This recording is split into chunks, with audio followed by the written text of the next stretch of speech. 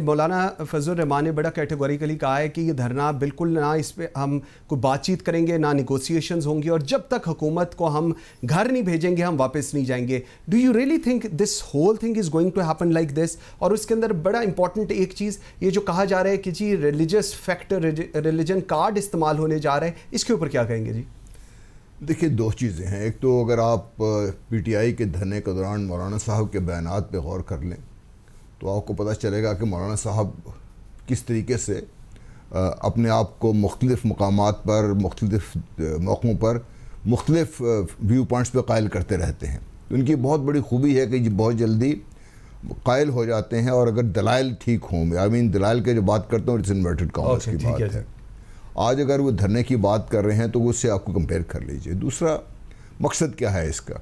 اگر حکومت گرانا ہے تو مولانا صاحب تو اسمبلی میں نہیں ہے۔ اگر نیشنل اسمبلی میں پیس پارٹی اور نون لیگ اور باقی پارٹیاں مل جائیں تو یہ میرا خیال ہے حکومت کو گرانے میں ان کو زیادہ مسئلہ بنے گا نہیں۔ ٹھیک ٹھیک۔ ہے۔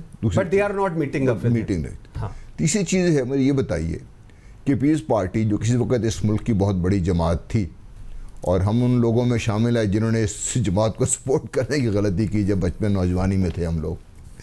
نون لیگ بھی اس ملک کی بہت بڑی سیاسی جماعت اور پولیٹیکل فورس ہے کسی کو اس سے ڈینائی نہیں کر سکتے۔ آپ کیا سمجھتے ہیں کہ دونوں بڑی پارٹیاں اپنی نکیل مولانا صاحب کے ہاتھ میں دے دیں گی؟ کل کو مولانا صاحب اس سارے ہی ول کال دا شارٹس۔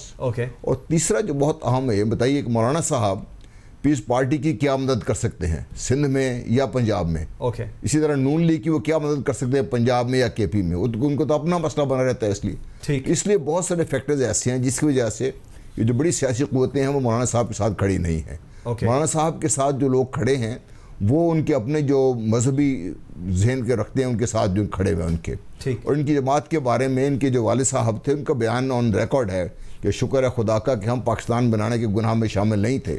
ان کے جو جد ہے جہاں سے دیوبند جہاں سے ان کے بیانات ابھی بھی آپ دیکھ لیں کیا بات آ رہی ہے۔ تو اس لیے مولانا صاحب کو بہت سوچ سمجھ کے بات کرنی چاہیے۔ کیونکہ انہوں نے جب شروع کیا تھا تو انہوں نے کہا تھا جی کہ یہ یہودی ایجنٹ ہے وہ عمران خان نے جا کے بات کر دی وہ ان کا مسئلہ ختم ہو گیا۔